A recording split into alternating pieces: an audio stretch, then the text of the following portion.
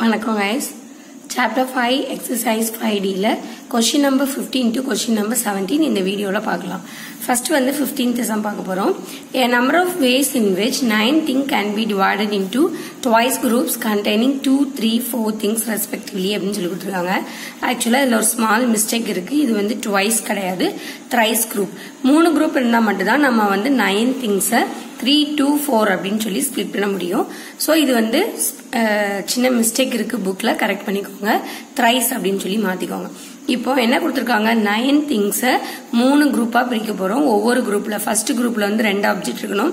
Second குரூப்பில் three third குரூப்பில் வந்து ஃபோர் இருக்கணும்னு சொல்லியிருக்காங்க ஸோ ஃபர்ஸ்ட் நம்ம டூ ஆப்ஜெக்ட் செலக்ட் பண்ணுறது எதுலேருந்து செலக்ட் பண்ணுவீங்க? அப்படின்னு பார்த்தீங்கன்னா இந்த நயன் ஆப்ஜெக்ட்லேருந்து தான் இந்த டூ ஆப்ஜெக்ட் செலக்ட் பண்ணுவீங்க. ஸோ நம்ம நயன் சி டூ அப்படின்னு எடுத்துக்கிறோம். டோட்டல் ஆப்ஜெக்ட்லேருந்து டூ ஆப்ஜெக்ட் செலக்ட் பண்ணுறதுனால நயன் சி டூ அப்படின்னு எடுத்திருக்கோம். ஸோ நயன் ஆப்ஜெக்டில் டூ ஆப்ஜெக்ட் செலக்ட் பண்ணியாச்சு. ரிமைனிங் எத்தனை ஆப்ஜெக்ட் இருக்கும்? செவன் இருக்கும். செவன்ல இருந்து நெக்ஸ்ட் குரூப்பில் எத்தனை இருக்குன்னு கொடுத்துருக்காங்க? த்ரீ அப்படின்னு கொடுத்துருக்காங்க. ஸோ செவன்ல இருந்து த்ரீ செலக்ட் பண்றீங்க. ஸோ செவன் சி த்ரீ அப்படின்னு போடுறீங்க. ரிமைனிங் உங்களுக்கு ஃபோர் ஆப்ஜெக்ட் தான் இருக்கு. அந்த ஃபோர் ஆப்ஜெக்ட்டுமே செலக்ட் பண்ண போறோம். அது ஒரு வேல தான் செலக்ட் பண்ண முடியும். ஸோ டைரக்டா ஒன் போட்டாலும் ஓகே தான். இல்ல ஃபோர் சி ஃபோர் அப்படின்னு கூட போட்டுக்கலாம். ஓகேவா இப்போ நைன் சி டூவை நீங்க எப்படி வந்து சிம்பிளிஃபை பண்ணுவீங்க? Nine into eight divided by two into one nine C த்ரீயை வந்து nine into six into five. இங்கே த்ரீ இருக்கிறனால த்ரீ நம்பர்ஸ் மேலே வரணும். கீழே த்ரீ ஃபேக்டோரியல் வேல்யூ போடணும். ஸோ த்ரீ ஃபேக்டோரியல் போட்டாச்சு. மேலே த்ரீ நம்பர்ஸ்க்கு செவன் இன்டூ சிக்ஸ் இன்டூ ஃபைவ்னு போடுறோம். ஃபோர் சி ஃபோரோட வேல்யூ வந்து ஒன்னு ஓகே இப்போ இதை சிம்பிளிஃபை பண்ணிங்கன்னா டூ எயிட்டு கேன்சல் ஆகுறதுல இதில் வந்து ஃபோர் வரும். நைன் இன்ட்டு ஃபோர் வந்து தேர்ட்டி சிக்ஸ் இங்கே சிக்ஸ் வந்து கேன்சல் ஆயிரும். செவன் இன்ட்டு ஃபைவ் வந்து தேர்ட்டி ஃபைவாக வரும். ஓகேவா இப்போ இது ரெண்டையும் மல்டிப்ளை பண்ணீங்க அப்படின்னா உங்களுக்கு ஆன்சர் வந்து thousand two hundred and sixty இதா ஆப்ஷன் பியா கொடுத்துருக்காங்க. ஓகே இப்போ நம்ம நெக்ஸ்ட் சம் பார்க்க போகிறோம் சிக்ஸ்டீன்த் சம் பார்த்தீங்கன்னா N minus one P R plus R into N minus one P R minus one is equal to dash அப்படின்னு சொல்லி கொடுத்துருக்காங்க. சில பேருக்கு இந்த மாதிரி சம் வந்தாலே பிடிக்க மாட்டேங்குது ஆக்சுவலாக இந்த மாதிரி ப்ராப்ளம் வந்தால் ரொம்ப ஈஸியாக இருக்கும்.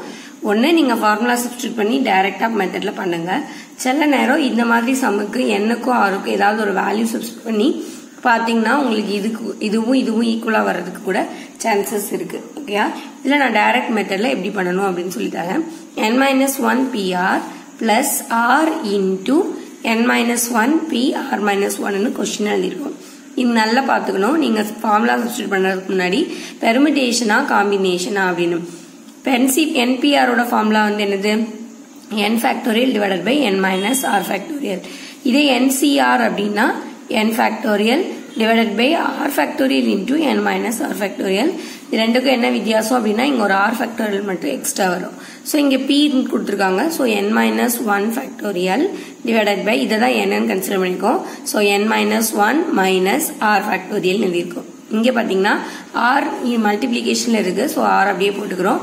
இதுக்கு மட்டும் ஃபார்முலா சப்ஸ்டியூட் பண்ணுறீங்க N minus one factorial divided by N minus one minus R minus one factorial ஓகேவா இப்போ இந்த மைனஸை உள்ளே மல்டிப்ளை பண்ணுறீங்க ஸோ மல்டிப்ளை பண்ணால் N minus one minus R plus ஒன்னு வரும். ஸோ மைனஸ் ஒன்னும் ப்ளஸ் ஒன்னும் கேன்சல் ஆயிடுச்சு அப்படின்னா உங்களுக்கு என் மைனஸ் ஆர் ஃபேக்டோரியல் அப்படிங்கிறது இந்த இதில் இது ஒன்று மட்டும் சேஞ்ச் பண்ணிடுங்க இதை அப்படியே எழுதிக்கிறோம். ஆர் எழுதியாச்சு இதை எழுதியாச்சு. இந்த மைனஸை உள்ளே மல்டிப்ளிங்கன்னா மைனஸ் ஆர் ப்ளஸ் ஒன்னு வரும். ப்ளஸ் ஒன்னும் மைனஸ் ஒன்று கேன்சல் ஆயிட்டுனா n மைனஸ் ஆர் ஃபேக்டோரியல் அப்படின்னு வருது. ஓகேவா இப்போ நம்ம என்ன பண்றோம்னா இது ரெண்டுலையும் காமன் டேர்ம் இருந்தா வெளியில எடுக்கிறோம். ஸோ இது n மைனஸ் ஒன் ஃபேக்டோரியல் ரெண்டு இதுலயும் இருக்கு. So n minus one factorial நியூமரேட்டர்ல எடுத்தாச்சு. டினாமினேட்டர்ல பாத்தீங்கன்னா இங்க n minus R minus one இருக்கு. N மைனஸ் ஆர் ஃபேக்டோரியல்னு இருக்கு. இதை எப்படி நம்மளுக்கு இப்போ வந்து எயிட் ஃபேக்டோரியல் செவன் ஃபேக்டோரியல் இருக்கு அப்படின்னா இதை நம்ம எப்படி எழுதிக்கலாம்? N இதை வந்து எயிட் இன்டூ செவன் ஃபேக்டோரியல் எழுதிக்கலாமா? அப்ப இதுல ரெண்டுலயும் காமனா செவன் ஃபேக்டோரியலா நீங்க எடுப்பீங்க. இங்க n minus R minus one இருக்கு இங்க n மைனஸ் ஆர் இருக்கு. ஸோ இது எயிட் ஃபேக்டோரியல் இது வந்து செவன் ஃபேக்டோரியல் அப்படின்னு நீங்க எடுத்துட்டீங்கன்னா அப்ப காமனா எதை எடுக்க முடியும்? செவன் ஃபேக்டோரியல தான் இதுல காமனா வெளியில எடுத்தோம். அதே மாதிரி இதுல என்னது காமனா எடுக்கிறீங்க? இதை காமனா எடுக்கீங்க. So n minus R minus one factorial இந்த டேர்ம் வெளியில வந்துச்சு அப்படின்னா இங்க உங்களுக்கு என்ன இருக்கும்? இங்க எயிட் போட்டோம். இங்க என்ன இருக்கு? n மைனஸ் ஆர் ரெண்டுல எது லார்ஜஸ்ட் நம்பரோ அதை தான் நம்ம வந்து ஸ்ப்ளிட் பண்ண முடியும். ஸோ இதில் வந்து N minus R minus one இருக்கு. இங்கே என் மைனஸ் ஆர் இருக்கு. ஸோ இது ரெண்டு லார்ஜஸ்ட் நம்பர்னு பார்த்தீங்கன்னா இதுதான். ஸோ நம்ம இதை ஸ்ப்ளிட் பண்ணோம் அப்படின்னா நமக்கு N minus R into N minus R minus one factorial அப்படின்னு வரும். ஸோ இது ரெண்டுலேயும் காமனாக இந்த டேர்ம் இருக்கு. அதை வெளியில் எடுத்தாச்சு. ஸோ நம்ம one plus R by N minus R போட்டிருக்கோம். ஆர் வந்து கொஸ்டின்ல ஏற்கனவே கொடுத்தது. ஸோ அந்த ஆர் எழுதிக்கோங்க. இந்த வேல்யூவை எழுதிக்கோங்க. ஓகேவா இப்போ இதை நம்ம வந்து என்ன பண்ண போறோம்? எல்சிஎம் எடுக்கும். ஸோ எல்சிஎம் எடுத்தீங்கன்னா N minus R plus R divide by N minus R வரும். பிளஸ் ஆரும் மைனஸ் ஆரும் கேன்சல் ஆயிடுச்சு அப்படின்னா N minus one factorial into N divided by N minus R minus one factorial into N minus R அப்படின்னு வரும். இது நான் எப்படி எழுதிக்கேன்னா ஜஸ்ட் சேஞ்ச் பண்ணி எழுதிருக்கேன் n into N minus one N minus R into N minus R factorial இது எப்படி எழுதிக்கலாம்? Eight into seven factorial eight எழுதலாமா? அப்போ N into N minus one factorial எப்படி எழுதலாம்? என் ஃபேக்டோரியல்னு எழுதலாம். So N minus R minus one எப்படி எழுதலாம்? So N minus R factorial அப்படின்னு எழுதிட்டோம்னா இது என்ன ஃபார்முலா உங்களுக்கு வந்துடும் என்பிஆர் அப்படின்னு சொல்லி வரும். இதான் ஆப்ஷன் சியா கொடுத்துருக்காங்க. ரொம்ப ஈஸியான செம்ம ஜஸ்ட் ஃபார்முலா அப்ளை பண்ணணும். அப்ளை பண்ணிட்டு ரெண்டு இதுலேயும் காமன் டேம் எதுவோ அதை எடுத்தோம். இதில் வந்து என்னன்னா உங்களுக்கு காமன் டேம் ரெண்டாவது உங்களுக்கு எடுக்க தெரியுதா அப்படிங்கிறது தான் மேட்ரு அப்படி மட்டும் நீங்கள் காமன் டேம் எடுக்க தெரிஞ்சுட்டு அப்படின்னா இந்த மாதிரி ஃபார்முலா அப்ளை பண்ணி செய்கிற சம் வந்து எது வந்தாலும் உங்களுக்கு செய்ய முடியும். ஓகேவா இப்போ நெக்ஸ்ட் சம் பார்க்கலாம்.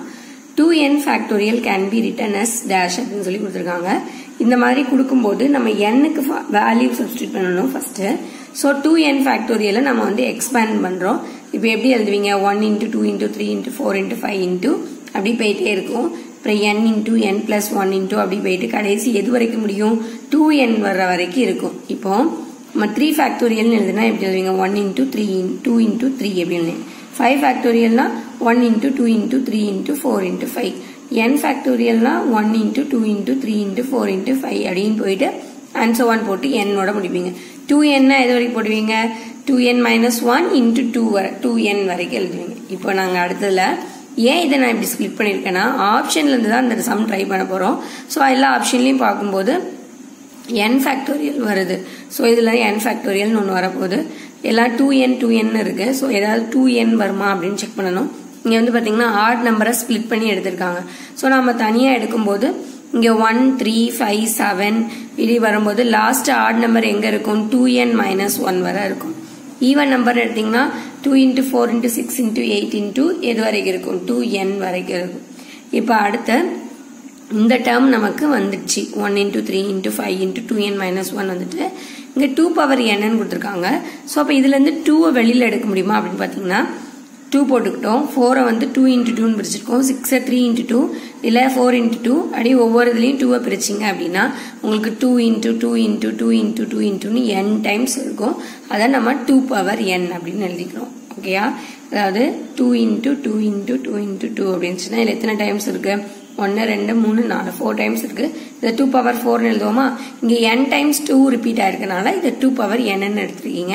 அடுத்து அகைன் நம்ம டூவை மட்டும் எடுத்துட்டோம்னா ரிமைனிங் இருக்கிற நம்பர்ஸ் எல்லாம் ப்ராக்கெட்ல போட்டிங்கன்னா இங்கே டூ இன்ட்டு ஒன்னு அர்த்தம். So one two three four அப்படி எது வரைக்கும் போகும்? என் வரைக்கும் போகும். அப் டு என் வரைக்கும் வரனால one into two into three into four into up to N வரைக்கும் போட்டிருக்கோம். இதை அப்படியே வச்சுக்கிட்டீங்க. டூ பவர் என் எழுதிட்டோம். இதை எப்படி எழுதிக்கலாம்? என் ஃபேக்டர்னு எழுதிக்கலாமா? ஸோ என் ஃபேக்டர்னு எழுதினீங்கன்னா இதை ஆப்ஷன் ஏயா கொடுத்துருக்காங்க. ஓகேயா இந்த சம் கொடுக்கும்போது கீழே ஆப்ஷன் பார்த்துக்கோங்க.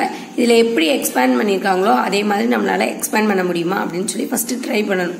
ஸோ இதில் ட்ரை பண்ணும்போது ஆப்ஷன் ஏல உள்ளதே உங்களுக்கு ஆன்சராக வந்துட்டு ஓகேவா ஃபிஃப்டீன்த் சம் பார்த்தீங்க. இதில் வந்து நயன் திங்ஸ்ன்னு கொடுத்து மூணு குரூப்பாக பிரிக்க சொல்லியிருந்தாங்க. ஸோ மூணு குரூப்பாக பிரித்து சிம்பிளிஃபை பண்ணும்போது ஆன்சர் வந்தது. செகண்ட் சம்மில் வந்து பெர்மிட்டேஷன் ஃபார்முலா சப்ஸ்டியூட் பண்ணோம். ஸோ பெர்மிடேஷன் ஃபார்முலா என்னது? N factorial divided by N minus R factorial அதை ஃபார்முலாவை சப்ஸ்டியூட் பண்ணி சிம்பிளிஃபை பண்ணும்போது நமக்கு என்பிஆர் ஃபார்மேட்லேயே வந்துடுச்சு தேர்ட் கொஸ்டின் வந்து டூ என் ஃபேக்டோரியலை எக்ஸ்பேண்ட் பண்ண சொல்லி கொடுத்துருந்தாங்க. ஸோ எக்ஸ்பேண்ட் பண்ணி நம்ம எழுதும்போது ஆப்ஷன் ஏ வந்து உங்களுக்கு ஆன்சராக வந்துச்சு. ஓகேயா இல்லை உங்களுக்கு ஏதாவது டவுட் இருந்துச்சு அப்படின்னா கமெண்ட்டை போட்டுவிடுங்க நம்ம சேனலை சப்ஸ்கிரைப் பண்ணுங்க. எந்த சாப்டரில் டவுட் இருந்தாலும் கேளுங்க. Thank you guys